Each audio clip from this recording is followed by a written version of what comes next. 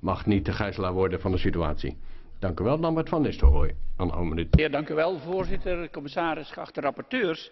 Vandaag leggen we een belangrijke basis voor de uitbouw van het eh, eh, European Neighbourhood Policy Instrument. Ik wil eigenlijk maar één punt eruit halen. Voor de commissaris één specifiek punt op de programma's aan die buitengrenzen, die cross-border programma's. We hebben 15 programma's, budget 1,1 miljard.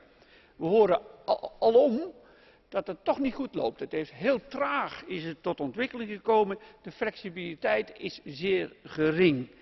En ik heb begrepen vandaag ook dat het Poolse voorzitterschap daarmee aan de slag gaat. De Polen willen echt eh, evolueren en die willen kijken of we niet of tot een verandering moeten komen om die programma's terug te brengen naar de cohesie, naar doelstelling 3, de interreg aanpak die we jarenlang hebben gekend.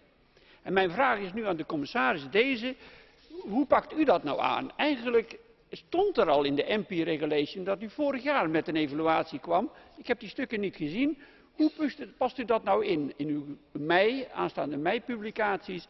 En bent u wellicht bereid om samen in dit parlement een hoorzitting te doen waarbij we de meest betrokken mensen uitnodigen en hun ervaringen horen? Ik heb het idee dat een aantal dingen echt moeten worden aangepast. Dank u wel. Dank u, Dank u wel. Hartelijk dank. Dan nu de heer Panzeri, half minuut. Dank u, voorzitter. Met de herziening van het nabuurschapsbeleid begint een traject dat niet snel zal afgelopen zijn. De